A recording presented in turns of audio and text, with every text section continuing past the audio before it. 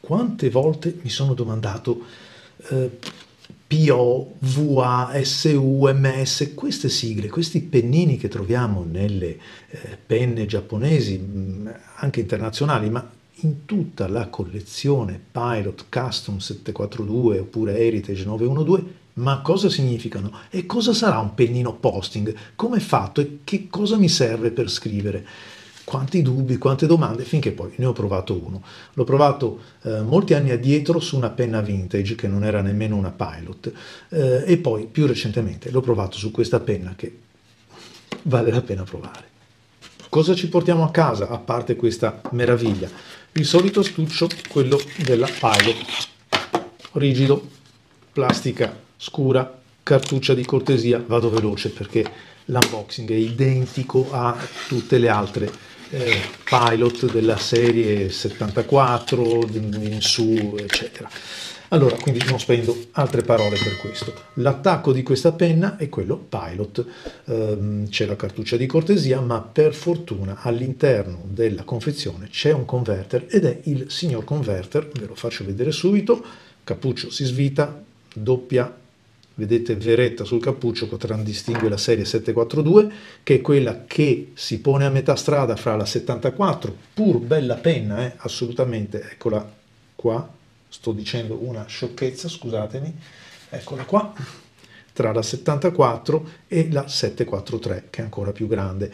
E allora ancora una volta quante volte ce l'hanno detto i nostri eh, vecchi amici latini in medium stat veritas è vero la serie di mezzo è quella che forse la, la, più completa dal punto di vista della eh, qualità, perché si distacca dalla serie 7.4, si sente che è migliore, più massiccia, eh, la sezione della, del fusto come vedete è cresciuta, quindi anche la sensazione, l'impugnabilità, il bilanciamento ne guadagna, ne guadagna davvero molto. E poi, vi dicevo, c'è questo bellissimo converter, il CN70, un converter che, ve l'ho detto altre volte, non è esente da critica perché è un converter che, un converter che si carica agendo su questo pulsante, come vedete, creando del vuoto, eh, richiama l'inchiostro, eh, fatelo sempre con molta cautela che cosa?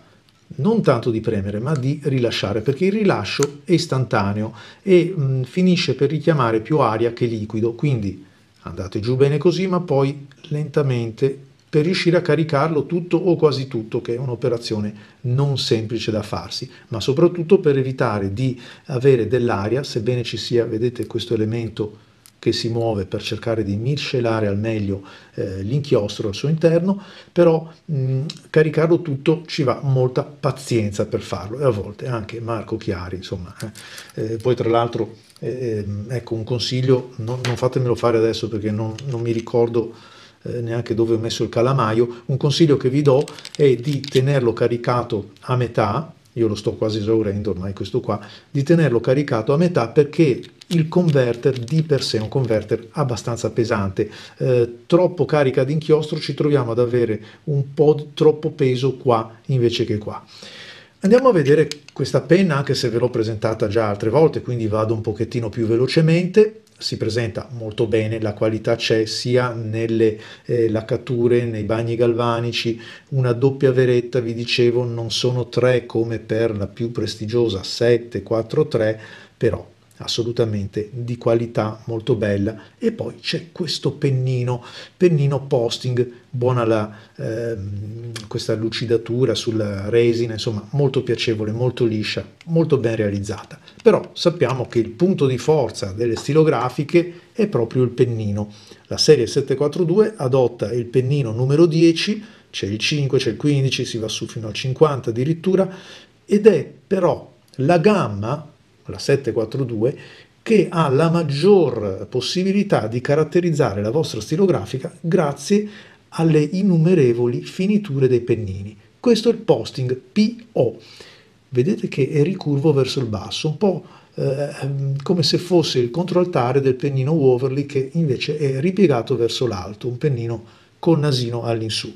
Allora, il pennino posting è un pennino molto, molto sottile, ma Scrive sottile perché? Perché come avete visto eh, o state vedendo nelle immagini è un pennino ricurvo. Il fatto di eh, piegare all'ingiù eh, le due parti finali dei rebbi concorre a dare rigidità al pennino. In altre parole viene imbrigliato e non può muoversi. Un pennino flessibile, ricurvo, come quello mi viene in mente della Waterman Emblem per esempio, è una, ehm, un esercizio tecnico magistrale perché non si concilia con la flessibilità, quindi cose che eh, hanno bisogno di Lindmeister di eh, altissima capacità. Piegandoli così è anche facile che abbiamo un serraggio molto stretto e permanente dei rebbi. Questo aiuta, per l'appunto con l'adeguata finitura, ad avere anche un pennino sottile. Però il pennino posting ha altre qualità. Allora, intanto vediamo se sono inquadrato. Sì. Allora, il pennino posting, che viene distinto con PO, l'ho tenuto un po' aperto e poverino, essendo così sottilissimo, si secca prima di altri, il pennino posting ha come caratteristica principale di essere rigido senz'altro. È un pennino rigido, quindi non vale la pena forzare o piegare, eh, forzare perché si finirebbe per piegare i rebbi, perché il precarico è un precarico molto elevato, superato quella soglia arriva la deformazione.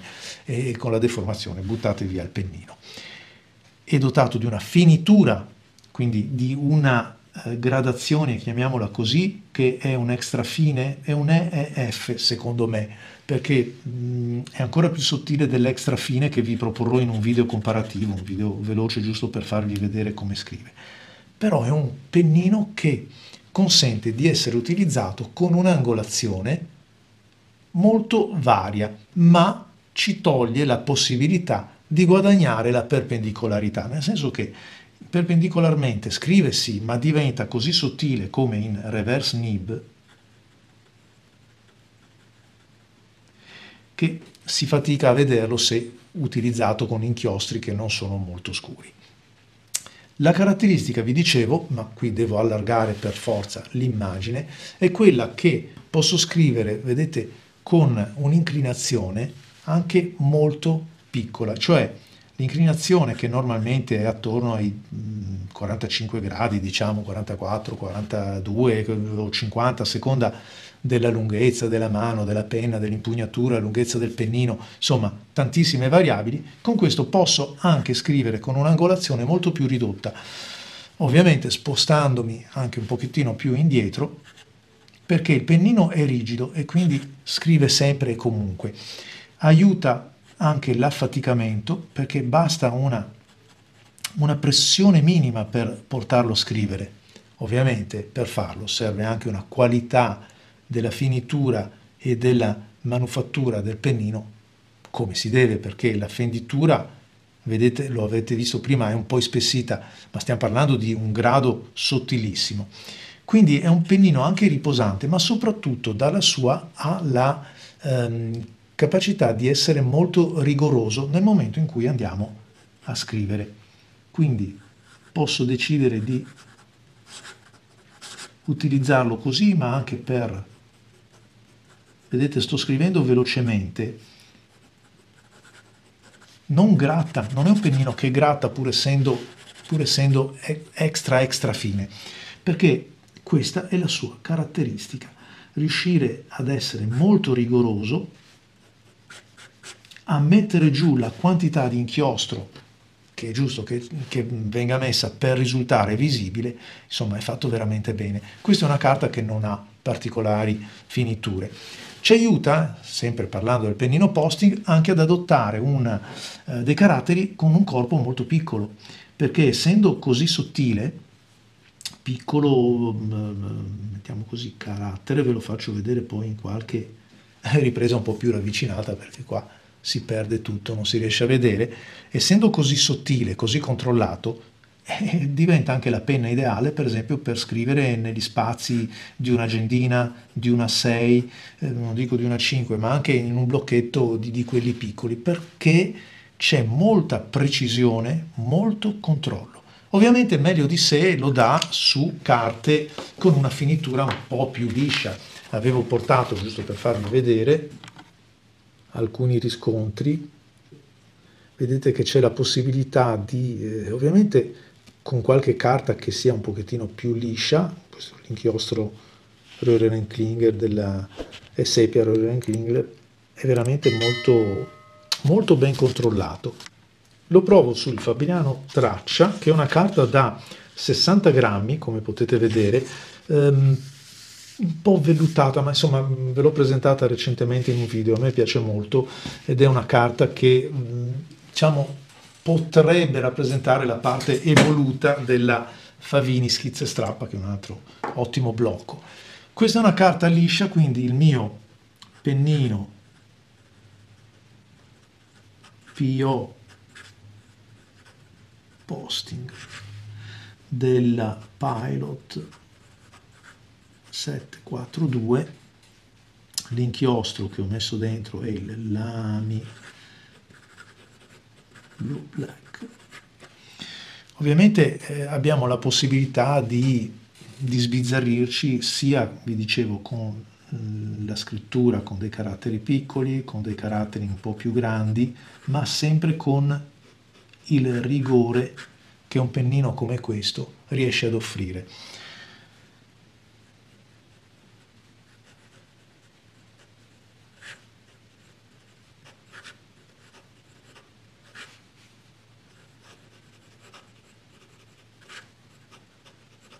Ora mi direte, beh, è facile sulle carte lisce, allora lo proviamo su una carta un po' più ruvida.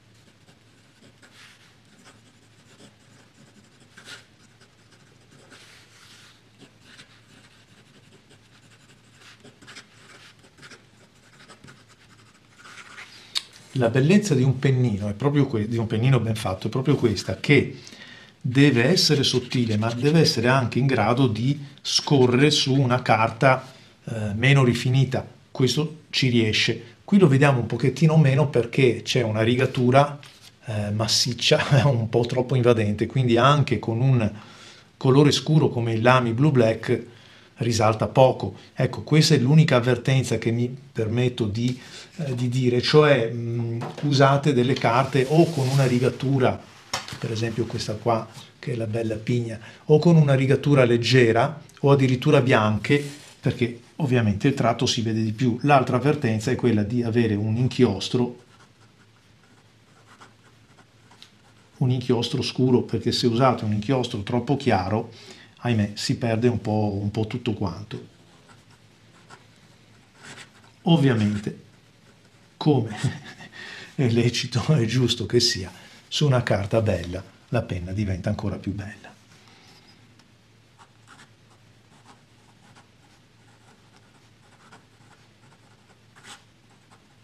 Aumenta il controllo, la soddisfazione proprio di, di scrivere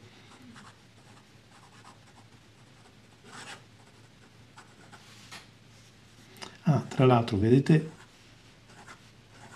il controllo, ve l'ho fatto altre volte per mostrarvi come il rigore di un pennino eh, ci permetta di chiudere eh, tutti mm, i raccordi in maniera precisa.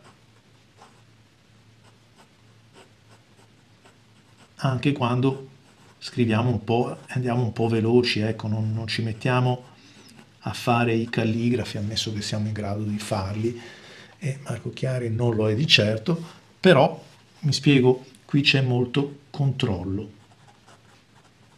Mi permette di scrivere come desidero, controllo. Quello che più volte mi avete sentito dire, confidenza.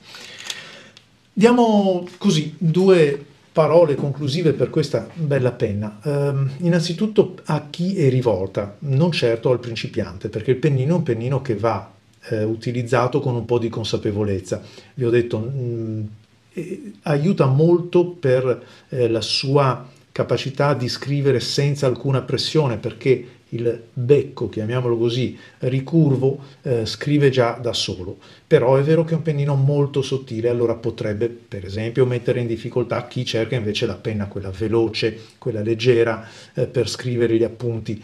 È una penna particolare, va bene per chi ha voglia di sperimentare, di prendersi un pennino che è decisamente diverso da quelli ordinari e scoprire cosa significhi e cosa si possa fare con un buon pennino tra le mani. Un buon pennino intendo un pennino un po' diverso perché il problema, e qui taglio corto perché c'è più di un capitolo dedicato nel, nel, libro che sto finendo, cioè il problema di avere una stilografica con un pennino così arrotondato che finisce per sembrare una penna sfera, insomma, eh, ne sono pieni i negozi.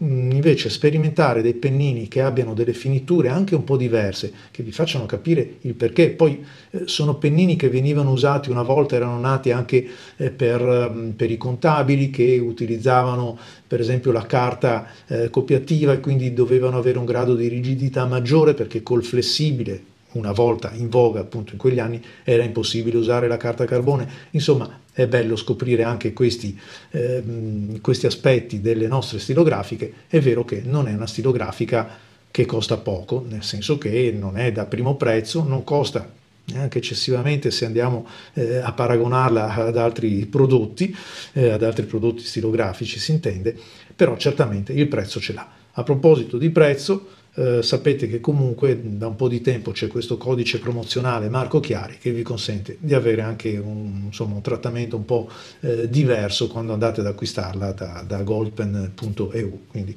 vi lascio in calce il codice Marco Chiari e, e, e fatene un buon uso. A voi tutti cari amici un grazie e vi aspetto ai prossimi video.